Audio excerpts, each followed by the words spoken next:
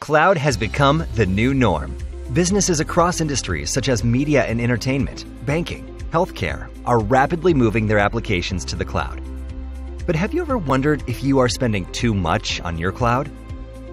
40 to 50% of cloud capex and opex are wasted due to ungoverned cloud usage, unused or over provisioned VMs, accidentally selecting expensive VM instances, 24 7 running inactive instances, inaccurate forecasting, inability to optimize cloud vendor pricing models. Introducing MyCloud, a unique AWS cloud usage analytics and optimization platform that can help you to reduce cloud spends drastically. So, what can MyCloud do for you? Provide AWS spend analysis with usage trends and forecasts. Help you to reduce cloud costs by providing a list of underutilized RDS and EC2 instances list unused elastic IPs, EBS volumes, and load balancers.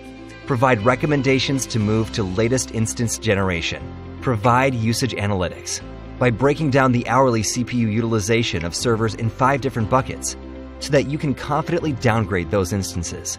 The security audit shows you the list of all RDS instances and S3 buckets, which are publicly available and not restricted to some whitelisted IPs. It also shows you the list of publicly exposed dangerous ports and IAM keys aging more than 90 days.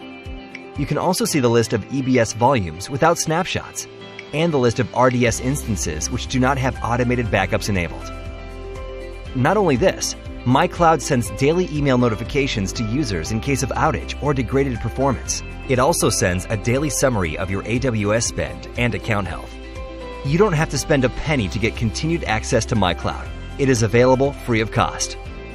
So, what are you waiting for? To get more details, just drop an email at mycloudaccount at tothenew.com.